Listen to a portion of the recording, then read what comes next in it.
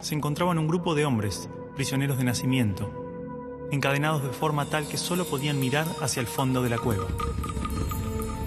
Una hoguera y figuras manipuladas por otros hombres proyectaban en esa pared todo tipo de sombras.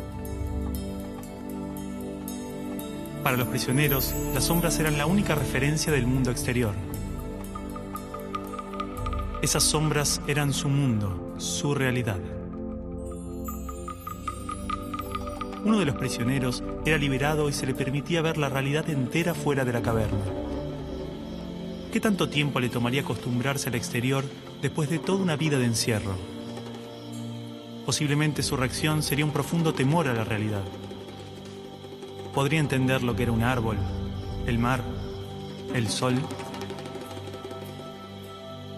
Asumamos que este hombre puede ver la realidad tal cual es y entender el gran engaño que era la caverna. El profesor nos explicó brevemente las interpretaciones del mito en relación al conocimiento, la ilusión, la realidad, y como posiblemente estemos dentro de una gran caverna que a su vez está dentro de otra. Pero no cabe duda de la necesidad de ese hombre libre de regresar y compartirle al mundo lo que había visto.